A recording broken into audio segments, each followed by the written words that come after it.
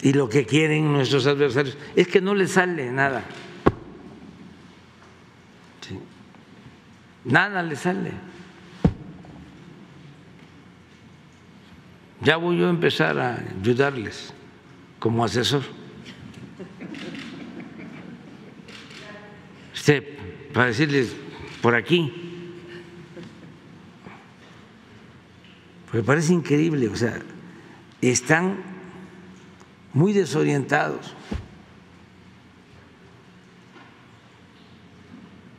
Y es una tras otra. Y todos los medios de información, pero no quieren aceptar de que ya hay otra realidad.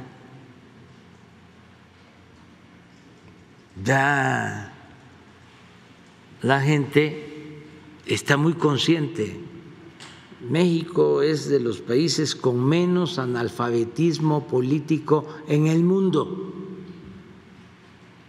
El pueblo de México es mucha pieza.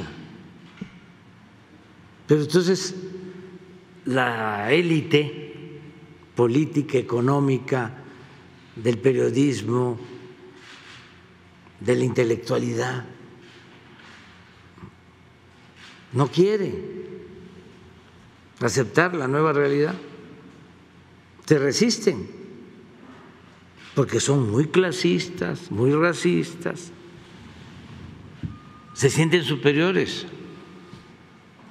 La política es asunto de nosotros, dicen. La política es asunto de los políticos. No, la política es asunto de todos. El periodismo es asunto de todos. Cuando todavía no